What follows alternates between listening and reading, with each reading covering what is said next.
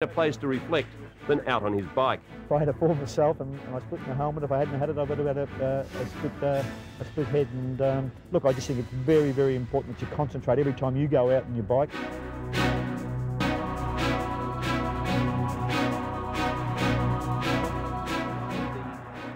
One of the more perplexing games of 1998 would surely have to be North's round seven encounter with the Bulldogs at Optus Oval.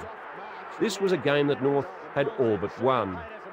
Early in the last term, North led by 13 points against the informed Bulldogs and then stopped. For 20 minutes, the Bulldogs just pounded the goals. They'd kick eight in an avalanche to turn the game around. 16 points is still the margin. Southern makes a lead, spent a little bit of time on the bench.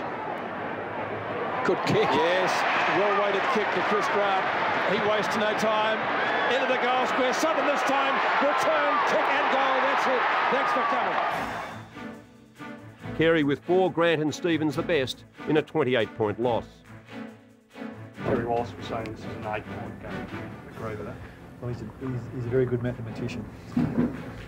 So it's not this game is no more important to you than any other. Well, they, they're all important to you. You're disappointed when you play a match of the day type scenario and you don't play anywhere near your best. And uh, um, if they're four points in front of you and uh, you get beaten, it, it virtually is a, a, an eight-point game. do you think are they in uh, Sydney a little bit ahead of the rest at the moment? Do you think?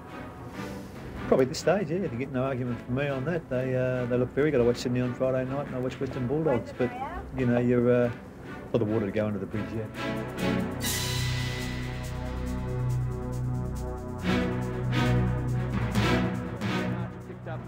For the first time since North won the 1996 centenary flag, the Roos would meet Sydney on the Melbourne Cricket Ground. Another grey day in which Glenn Archer excelled, just as he did that September day in 1996.